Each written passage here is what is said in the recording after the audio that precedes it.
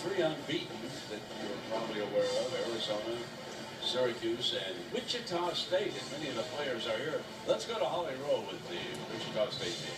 Well, I've got two of the top three scorers for Wichita State right here. Ron Baker, you're shooting over 40% from three-point range. What do you think of this three-point shooting we're seeing from Kansas so far, or from Baylor? Uh, Heslip's got a nice looking shot. Uh, we saw him earlier this year playing, so we know what he's capable of. Uh, he's playing well. Props to him.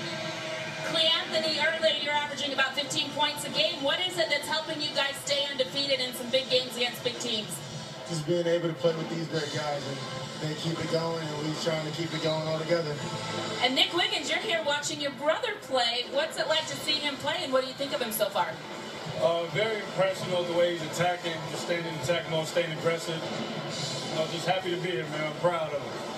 You guys are actually ranked fifth in the poll today. You're actually ranked ahead of Kansas. What do you see out here as a scattering report? Do you think you guys are ranked ahead of them? Rightly so. Uh,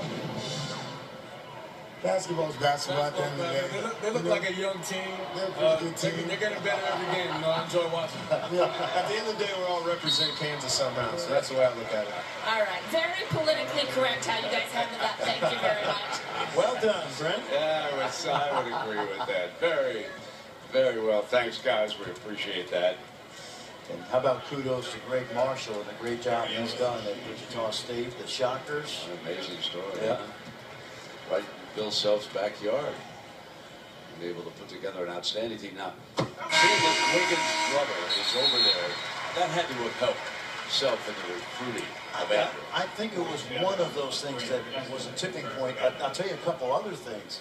He got very comfortable playing.